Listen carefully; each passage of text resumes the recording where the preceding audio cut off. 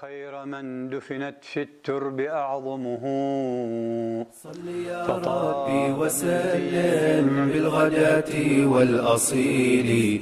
صل يا ربي على من هديه أهدى سبيلي وامدحي حبا وشوقا صاحب بسم الله الجفن الرحمن الرحيم. الحمد لله رب العالمين. وصلى الله على سيدنا محمد وعلى آله وصحبه أجمعين. أحيي المشاهدين والمستمعين جميعا المشاهدات والمستمعات. السلام عليكم ورحمة الله تعالى وبركاته.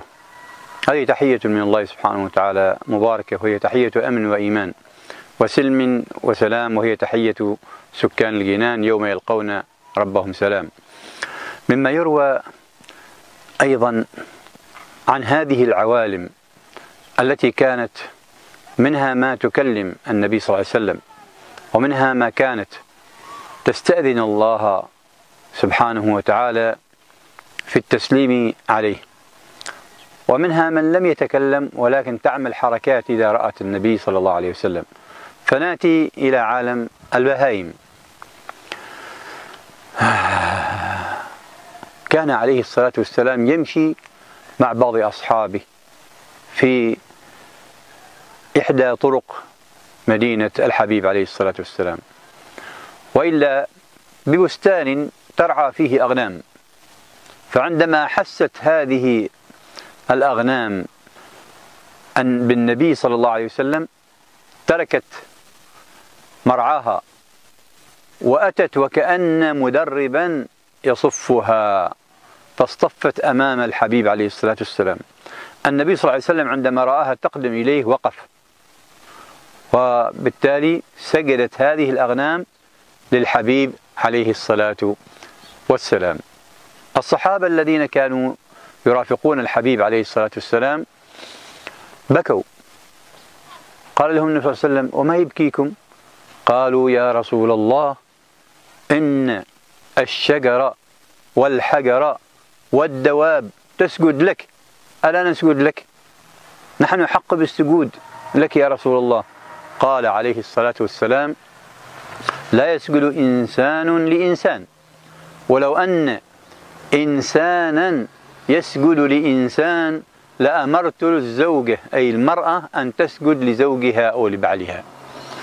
وهنا أيضا نذكر الجميع بحق الزوج مع زوجته أو بحق الزوج على زوجته. وطبعا للزوجين حقوق. لكن هنا ذكر الحديث طبعا أنه المرأة لا بد أن تفعل أفاعيل دون السجود للزوج.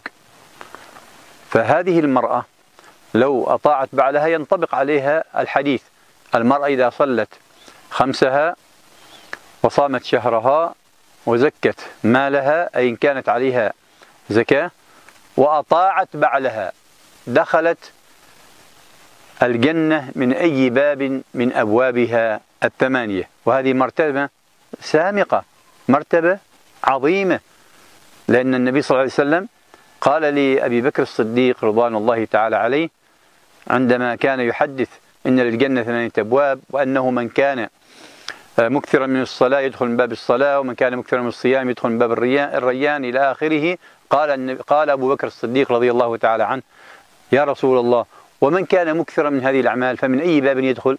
قال يا أبا بكر يدخل من أي باب شاء يخير الملائكة تخيره وأنت منهم يا أبا بكر. سيدي أبو بكر الصديق هو الذي يحذو حذو النعل بالنعل مع سنة النبي صلى الله عليه وسلم.